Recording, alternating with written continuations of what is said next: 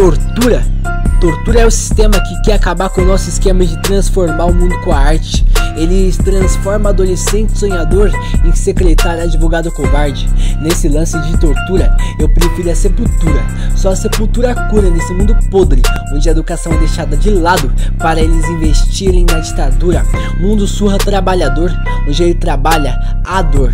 Fica se perguntando por não ter seguido seu sonho de ser cantor, ator ou pintor. Senhor, por que eu sofro tanto? Eu te digo onde você errou, você errou. Ao invés de ser feliz, orgulhar o seu pai você quis. Quis trabalhar no time setor engravatado por seu chefe ser humilhado. Agora você sabe onde tem tanto sofrimento. Dinheiro sim, mas só se for com meu talento. BK já falou, mas eu volto a repetir.